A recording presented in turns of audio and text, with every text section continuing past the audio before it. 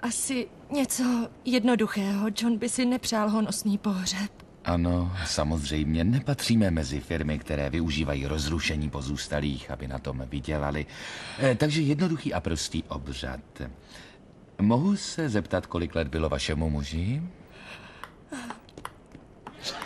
43.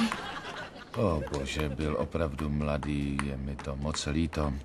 E, a dál, taky jste říkala, že byste na obřadu ráda hudbu. Máte nějakou určitou představu, co by to mělo být? Promiňte, ale nemohu se soustředit, když tu hrají ten ping-pong. Chlapci? Trochu tiše, ano? Ano, pardon. Díky. E, takže o hudbě se domluvíme až přímo na místě. E, rakev z Bodovice, o tom jsme již mluvili.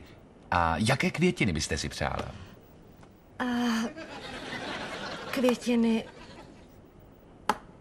Nebo snad radši věnec.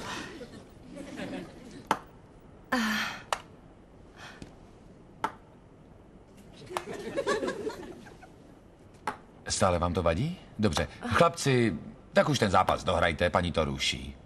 E, kolik příbuzných bude v limuzíně? Do, dohromady šest. Šest, dobrá. E, jsou to blízcí příbuzní? Ano,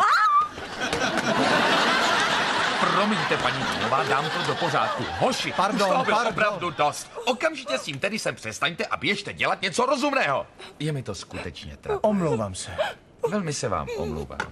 Nezranil vás? E, takže můžeme pokračovat? Dobrá, už se to nestane.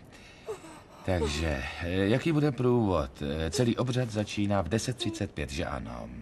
Jo!